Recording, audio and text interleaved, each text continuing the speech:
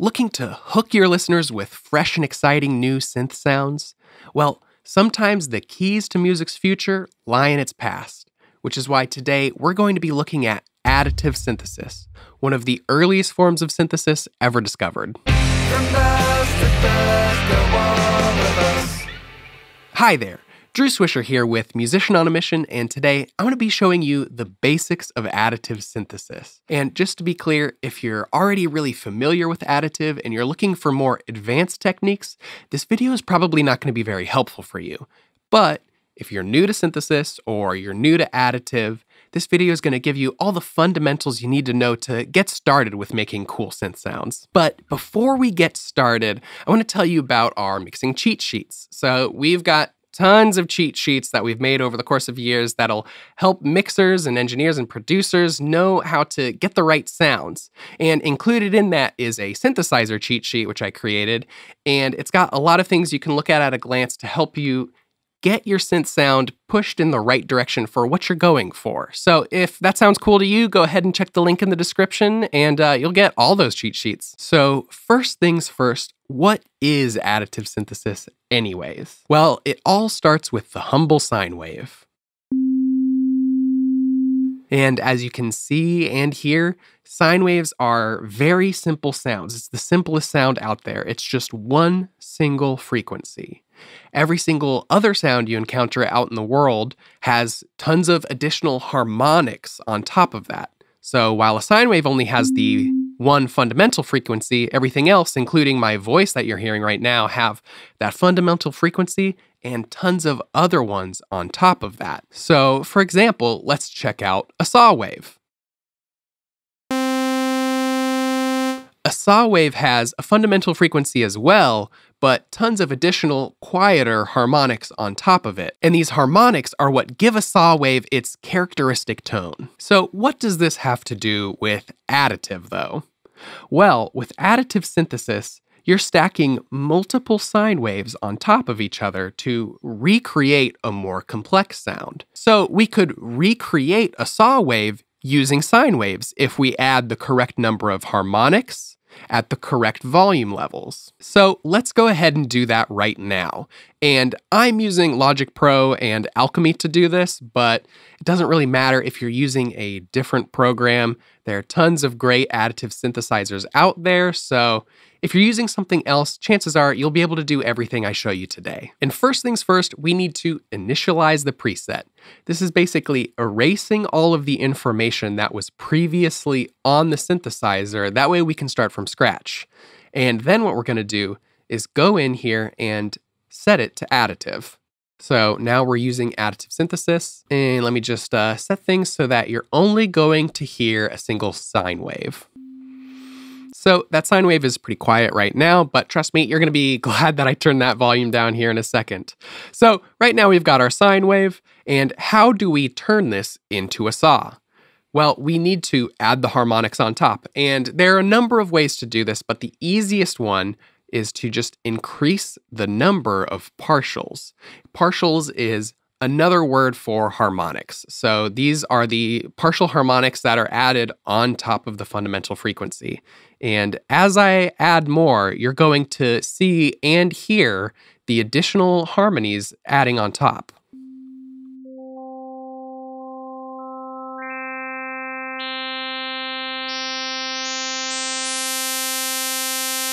So now we've got something a lot sharper, a little bit closer to a saw wave, but it's not quite there yet. Now, one way we could do this is by looking up the mathematical intervals and volume levels of every harmonic in a saw wave and manually enter those. But there's an easier way to do this in most additive synths. Here in Alchemy, that's just to turn on this harmonic section. And right now, I can just choose saw and it's going to automatically recreate the harmonics needed to create a saw wave.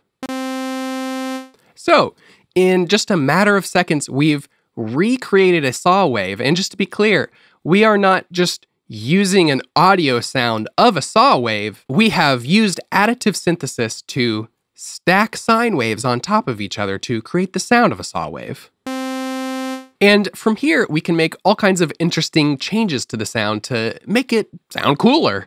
So, for example, we could morph between the odd and even harmonics. So, if we wanted it to sound hollower, we could make it really emphasize those odd harmonics. Or we could make it brighter and sharper by emphasizing the even ones. We could change the timbre with this tone knob, which is going to change how loud these harmonics are. And we can add all kinds of other interesting effects as well. For example, we've got beating, which detunes all of the harmonics and creates literally a beating effect.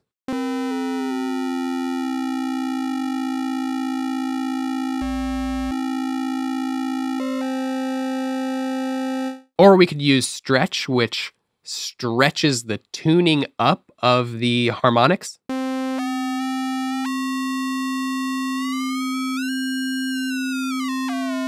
Or we can stretch them down.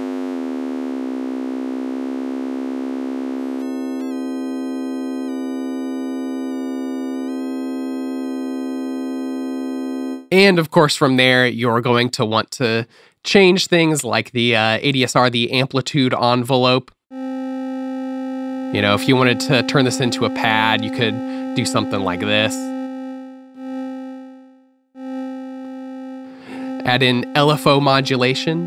And if these words are new to you, check out my synth basics video. I cover all of the fundamentals of using synthesizers to begin with. And that video will get you up to speed on how to use all of these other effects I'm talking about right now. So, needless to say, Using additive, we can create interesting sounds just out of basic sine waves. So there we go. We've recreated a saw wave from scratch, and then we've mangled it with cool effects to turn it into something more interesting. But of course, this isn't super useful by itself, right? If you wanted a saw wave, you just pull one up to begin with, right? But the important thing is this shows we can use additive synthesis to recreate sounds, and it goes way beyond basic waveforms. So, what good is additive if it's highly theoretical and requires a ton of work to actually create something realistic. And why recreate a sound with additive synthesis in the first place? Wouldn't it be easier to just use the original sound?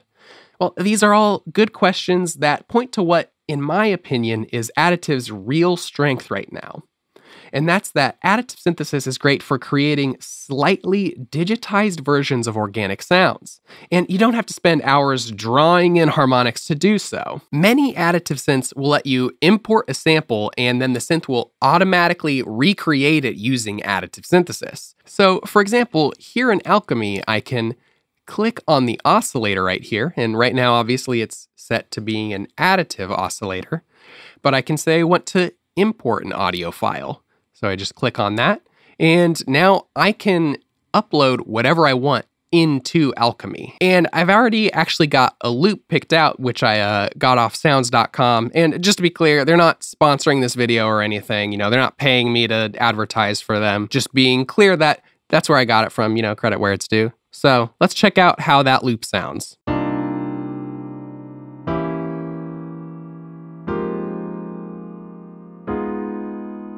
All right, cool. And let's drop it into Alchemy now. All right, and we can preview it.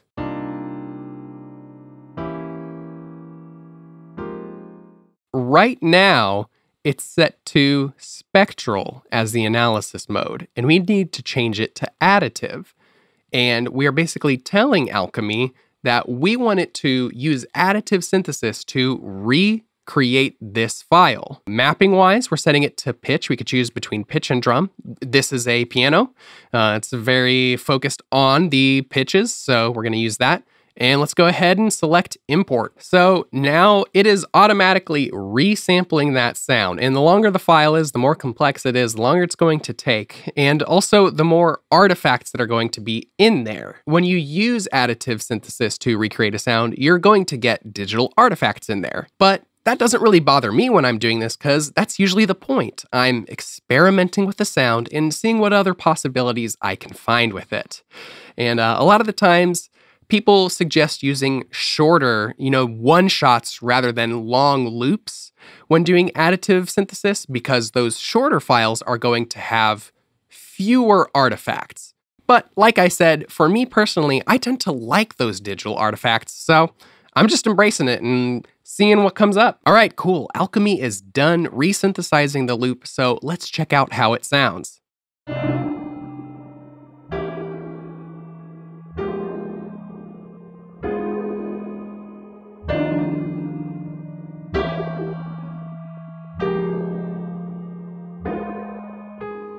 All right, that sounds pretty cool to me. I, I, don't know if you agree, but to me, that sounds awesome. It's noticeably the same loop, but it's just got all these weird extra little sounds going on in the background, which I really like.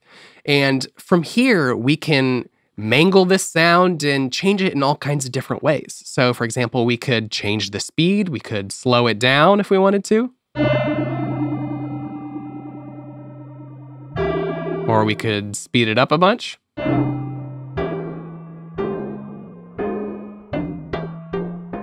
We can change the number of harmonics that we're adding on top of this.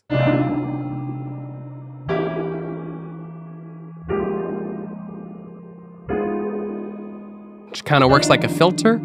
We can even change it so that instead of recreating the sound with sine waves, we're using something else. So for example, let's check it out with square waves. And uh, this might be kind of loud, so let me go ahead and turn this down first so I don't hurt your ears.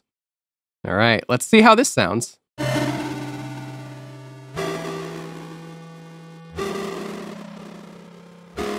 So that's got a cool bit crushed kind of vibe. Let's check out if we used a triangle wave.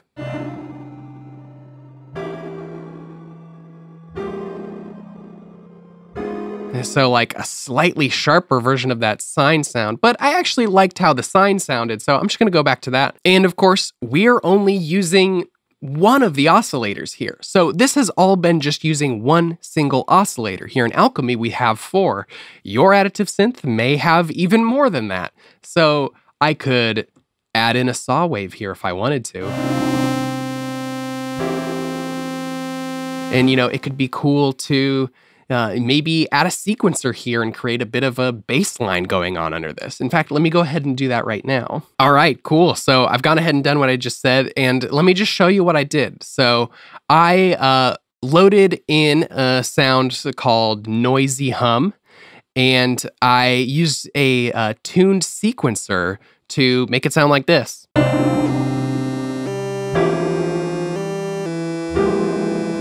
And my apologies, I know the uh, the tuning of the notes on this noisy hum aren't perfect, but you know, for the sake of time, uh, I just want to show you that you can do this, not necessarily create a perfect track.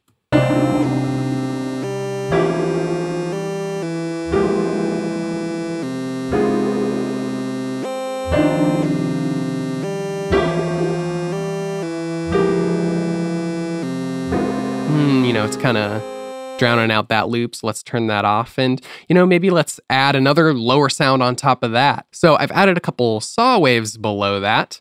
Uh, and I'm using an LFO to make them pulse. So here's how that sounds.